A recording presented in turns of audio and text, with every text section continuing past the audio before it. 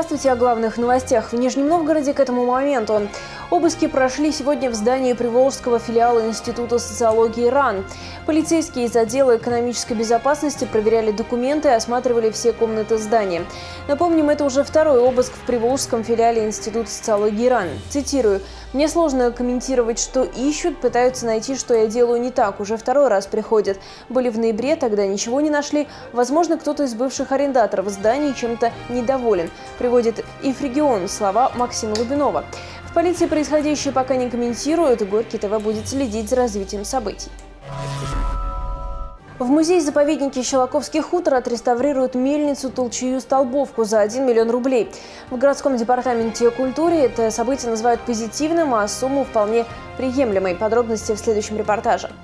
Мельница Толчья-Столбовка появилась в музее-заповеднике еще в 70-м году. За 45 лет экспонат полностью ни разу не реставрировали. В этом году на восстановление потратят более 1 миллиона рублей. Вообще, с момента передачи музея на Щелковском хуторе из областного подчинения в муниципальное финансирование выросло более чем в два раза. Однако деньги, которые выделяются, не всегда расходуются эффективно, утверждает близкий к музею источник Горький ТВ. В качестве примера приводится открытие первого за долгое время время отреставрированного экспоната – колодца. В прошлом году на эти цели потратили более полутора миллионов рублей, хотя у многих других музейных объектов состояние было куда плачевнее. В Департаменте культуры на это заявили, что обывательским взглядом нельзя оценивать эффективность работ по восстановлению. Если люди понимают это некие процедуры, как на бытовом уровне прибить гвоздь или там что-то выпилить, то это не соотносится с теми работами, которые производятся на этих объектах. Эти все работы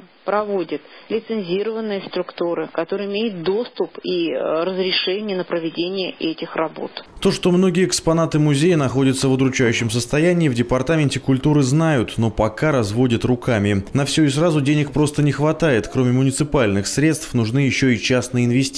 Еще в 2013 году экспозиция музея полностью находилась в аварийном состоянии. Для посещения был открыт только один объект – изба Обуховой. Тогда эксперты оценивали полное восстановление всех экспонатов музея в сумму 1 миллиард рублей.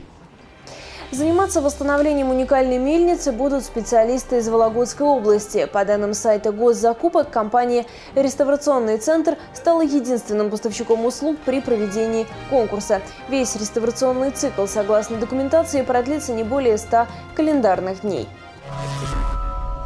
Задолженность нижегородских предприятий по зарплате превысила 99 миллионов рублей. Самые крупные задолженности из 20 приходятся на предприятие обрабатывающего производства «РУМО» – 57,6 миллионов рублей. По всем организациям направлена информация в Роструд, говорится в сообщении на сайте Гострудинспекции. В Нижнем Новгороде завтра утром плюс 1, плюс 2 будет облачно, небольшой дождь со снегом. Днем температура кардинально не изменится, плюс 2, плюс 4, также осадки.